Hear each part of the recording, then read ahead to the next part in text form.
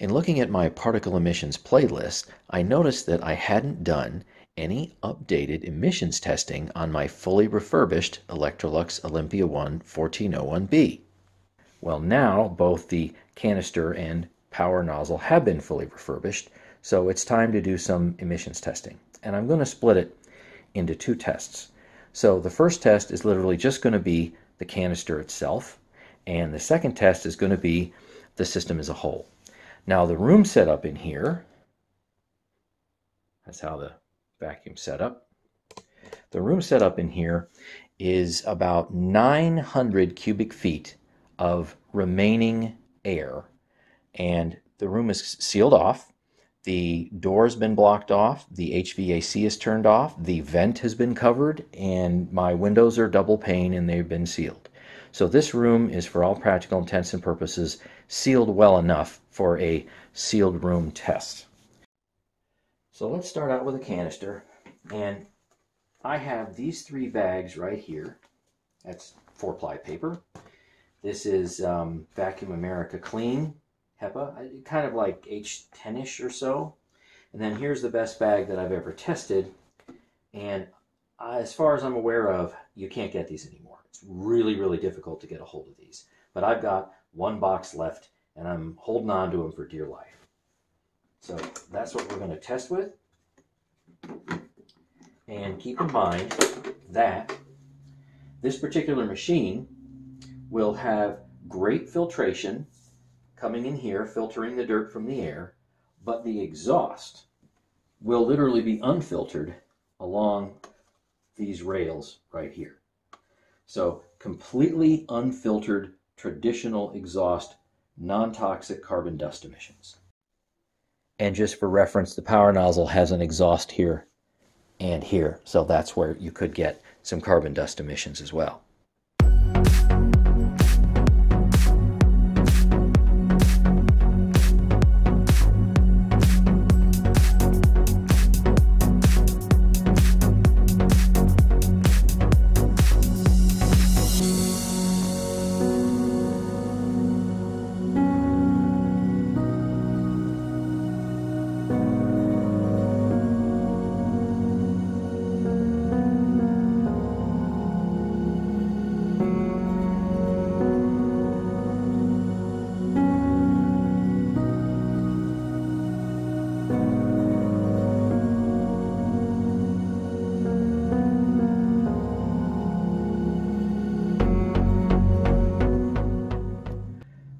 Let's see where we've ended up after 10 minutes of just testing the canister.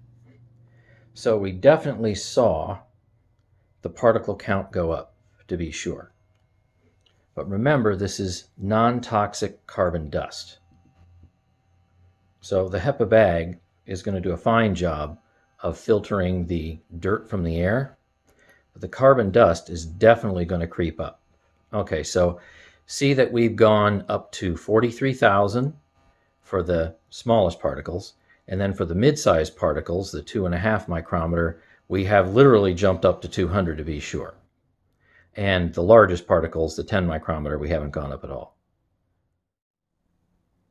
So to kind of wrap this up, at least from a canister standpoint, as long as you put in a reasonable bag. I mean, seriously. This paper bag will be just fine, four ply. And of course, you got the Vacuum America clean bag. That one also is going to be okay. You're going to be filtering the dirt from the air uh, to some type of reasonable degree. You'll, you'll be okay. You'll be just fine. But the carbon dust emissions definitely will uh, increase if you have a closed room. However, if you noticed on the meter that the little white bar and the upper left hand side did not go outside of the green. So that actually means that the air is still classified as wonderfully okay. So not a big deal there. So next, how about we go and check the system as a whole.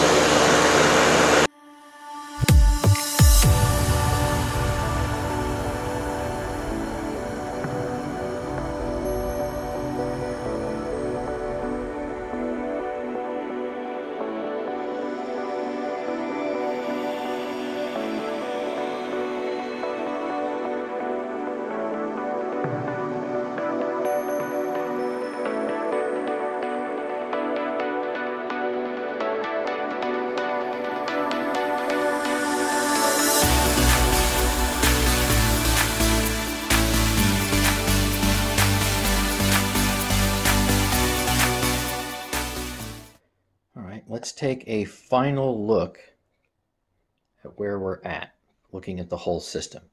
So you've seen the trend, and for people who are unfamiliar with this meter, there's a little white vertical bar right here, and you have a whole bunch of different colors that go horizontally. So if that little white bar stays in the green, even if you have numbers that are all the way over here, see you see 78,000 for 0.3, you see 350 for 2.5, it still means the air is non-toxic and perfectly okay. I'm not saying that it isn't full of particles.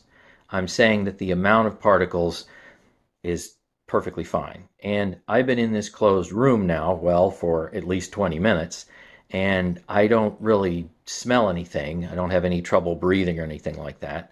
Um, everything's just fine, and no air has uh, circulated in or out of here for some time. So there you go. That's literally as bad as it gets. So, just like we already knew, because let's face it, a hundred years of this type of system, I've never read anything about people getting sick or fatalities using their machines in such a way where they have a good filter bag in the machine and the carbon dust is just kind of, you know, going all over the place. I just really haven't read any articles, uh, medical or, or otherwise, where people have, you know, difficulty breathing, for example. So this machine was fine 40 years ago, and it's still fine to use now. So thanks for watching, and stay tuned for more.